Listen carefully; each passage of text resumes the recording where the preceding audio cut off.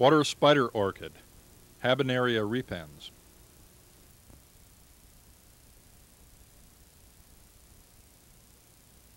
The water spider orchid is a true orchid. It is native and grows throughout Florida. It is also listed as a threatened plant by the Florida Department of Agriculture and Consumer Services. Water spider orchid occurs on marshy shores and is sometimes found in floating mats of vegetation. It flowers through much of the year. The water spider orchid is a perennial herb that spreads by runners as well as seeds. It is erect and grows to one or two feet tall.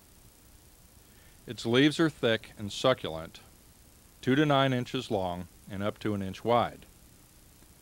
The leaves are narrowly lance-shaped, tapering to a narrow point. The most conspicuous part of the water spider orchid is its stalk of flowers that occurs at the top of the plant. This stalk, called a raceme, is several inches long. The small flowers are pale green and one half to three quarters inch across.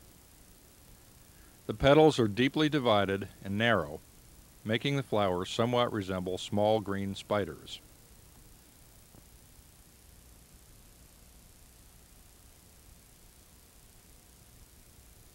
Water spider orchid is a native orchid. It has thick, succulent leaves. A long flower stalk occurs at the top of the plant. Flowers are green and spidery looking.